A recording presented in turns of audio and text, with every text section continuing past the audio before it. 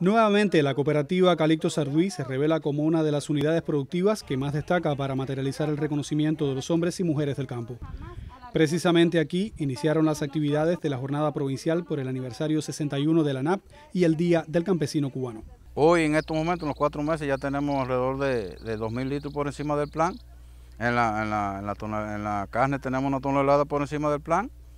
Y los cultivos varios los vamos cumpliendo. En la fruta, hoy mismo hay una cantidad de fruta tremenda, principalmente el mango, el coco y esas cosas que no hay problema para nosotros cumplir los compromisos que tenemos este año. Convocados por la Unión de Jóvenes Comunistas, estudiantes, representantes de los CDR, sindicalistas y pobladores de la comunidad de Becerra, se sumaron este fin de semana a las labores de siembra que deberán convertirse en mayores opciones para la mesa de los tuneros. Nosotros hemos venido trabajando fundamentalmente en un grupo de indicadores que realmente habíamos, teníamos identificado en cada, uno de en cada uno de nuestros municipios y nuestras organizaciones de base, relacionado primero con el crecimiento de asociados, el trabajo con los jóvenes, el tema que tiene que ver con las producciones agropecuarias, sobre todo el tema del completamiento y cumplimiento de las producciones contratadas y también lo relacionado con el autofinanciamiento de la organización.